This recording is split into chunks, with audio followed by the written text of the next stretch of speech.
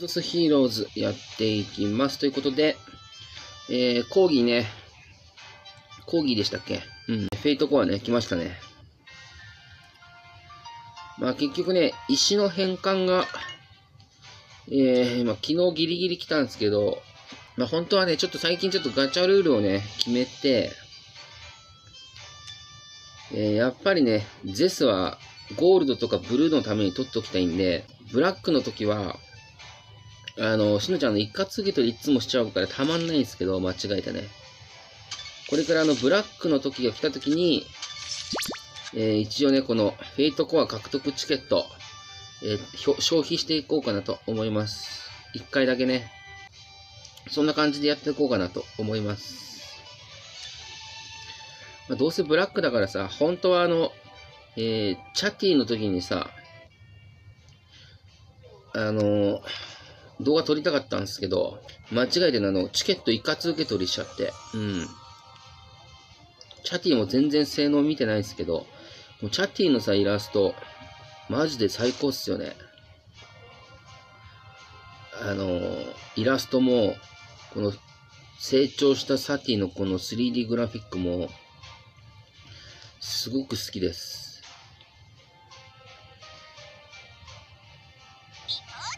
初めて見るわ。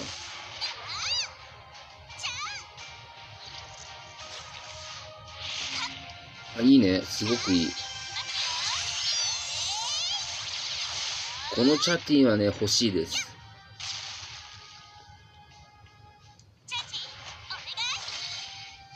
結局あの、あの、シェルのガチャでさ、ゼス戻ってくるから、あのー、全部ね、石はね、シェルの方で使い切っちゃったんで、うん。シェル持ってるけど、シェル、天井まで使い切りました。ですね。今回講義、今回のさ、この、この成長シリーズ、あの、イラスト、まあ、シェルは微妙だけど、3D のさ、グラフィックのデザイン、すごくいいですよね。すごくいいです、この成長シリーズ。アイドルシリーズの時はもうクソだったけど、この成長シリーズ、イラストグラフィックすごいいいです。コーギーもすごくいいよね。うーん、いいよいいよ。帽子がちょっと邪魔だけどね。帽子ない方がかっこいい気がするけどな。どうせ多分ブラックだからあれでしょ？うん、この次元跳躍がついただけなのかな。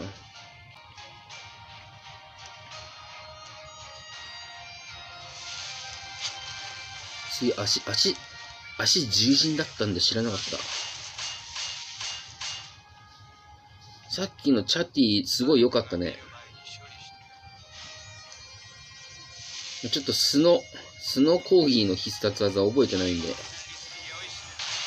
でもすごくかっこいいと思います。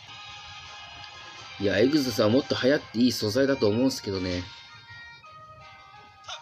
このクオリティ。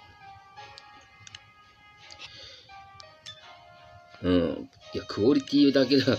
しのちゃんのやってるゲームの中で、クオリティ？一番だと思うけどな。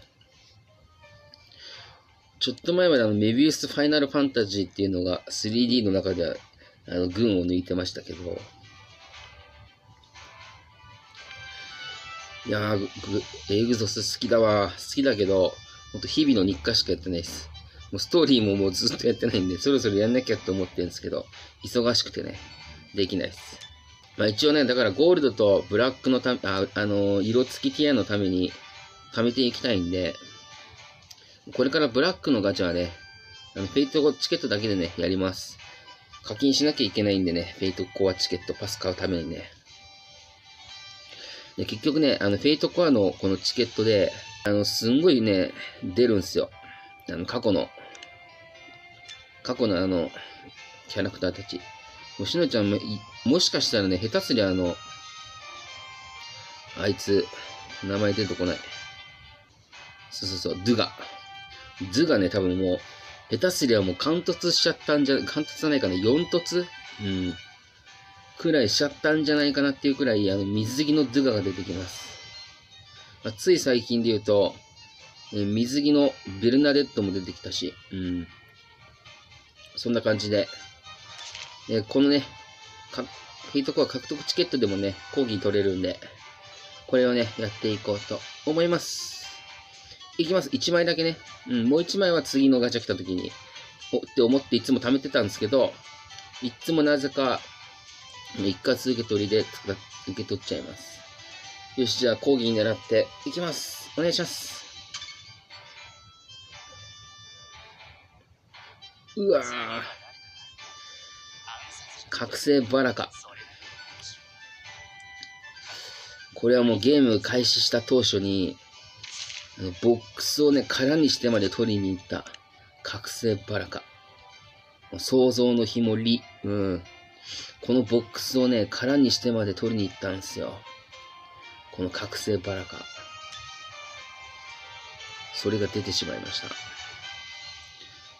まあ、フュージョンですね。フュージョン。覚醒バラカさんで、ね、フュージョンしていきたいなと思います。ただ今ね、バラカはね、どちらかって言ったら竜帝騎士団バージョン使っちゃってるんで、うん。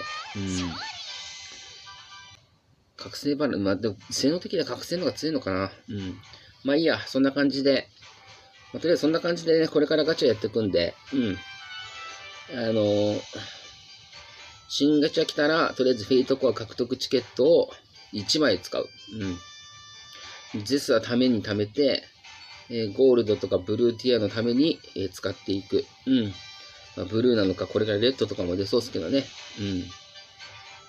まあ、そんな感じかな。あと、ゼスはね、結構、あの、属性強化じゃなくて、覚醒、うん、覚醒でもね、結構ゼスって使うので、うん。